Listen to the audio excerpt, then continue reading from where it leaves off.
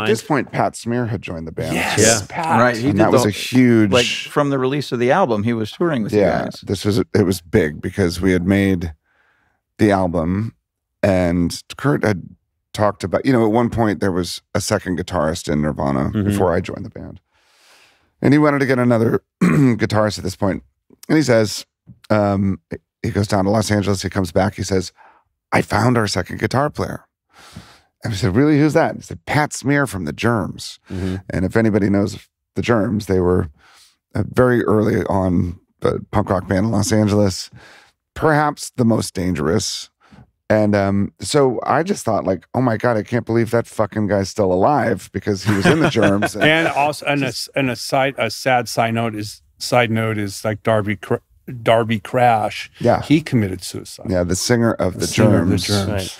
Right. Um, anyway, so Pat comes up, and I'm just expecting this big, disgusting fat junkie, and he's the most wonderful, energetic, brilliant, beautiful. Well put together. uh, he, he he really breathed this whole new life into the band. The great thing too is I there's a great anecdote that defines his contribution to the band in addition to being a great musician and and and I think what I've always read is that Kurt wanted someone who could also help handle some of the you know technical Yes. parts so that he could focus more on the performance and the and and singing and so obviously Pat can do that but the other thing that was great is that he had this uh, great attitude and Oh, there was a yeah. story of you guys playing a show and then there's a not a nice review about the show and it says you know the show was off and someone's reading the review Oh, and I people are remember getting that. people That are getting pissed That was the first. So, sorry to interrupt. The Yeah. first night of the op- the opening night of the tour, the In Utero tour, was at the Arizona State Fair, Mhm. and it's the first night. And so, you know, it takes a couple shows to get rolling. And so it was Edna Gundersen from USA Today. Jeez Louise.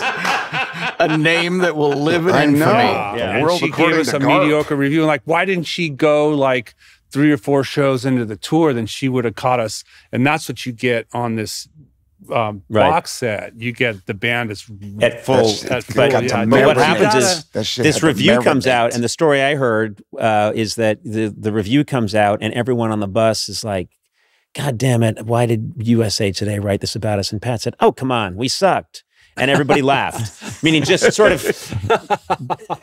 taking taking the piss out of the whole thing come on we were off well you know Well, also, I love that. Who do you call to take over the technical side of things in a guitar band? The fucking guy from the Germs. Yeah. Yeah. It's I can't think of a ba- I can't think of a band that is a, a a closer parallel to the kind of like uneasy feeling that you got from the weirdest moments of Nirvana than the Germs. Like their their their whole thing had that same sort of yeah like familiar but slightly sleazy and slightly uncomfortable quality and and it was a sonic thing like the sound of Pat Smear's guitar it sounded a little sour and a little you know a little creepy and it seemed like a like it was a natural as soon as I heard about it I thought oh yeah that's a natural It was Yeah. gr- it was great.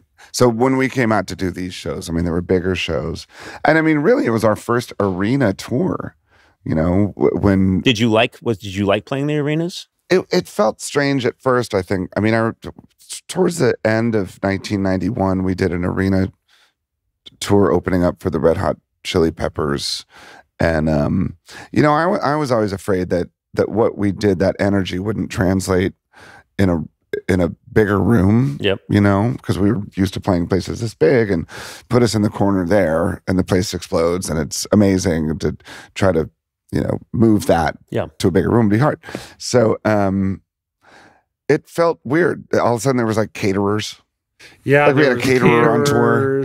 and then the Kurt fired him because they made the wrong mac and cheese. Well, no, because they did it because they had really good food. I thought it was really good, and Kurt like corn dogs and macaroni and cheese and our bologna sandwiches. And So they were making actual macaroni with actual cheese. and he Yeah. had never had that before And that was the just- last we didn't fucking straw. you know so it was just like you know it was one of those things like ah and well we did a show we had a show it was a 90 minute show we had a stage set up we would do our acoustic breakdown part yeah, it's like we pro did the shit. same show every night Um, and we would play. It was like twenty dollar tickets. Tickets were like twenty bucks because you could sell CDs and make money. And then we had like working family prices.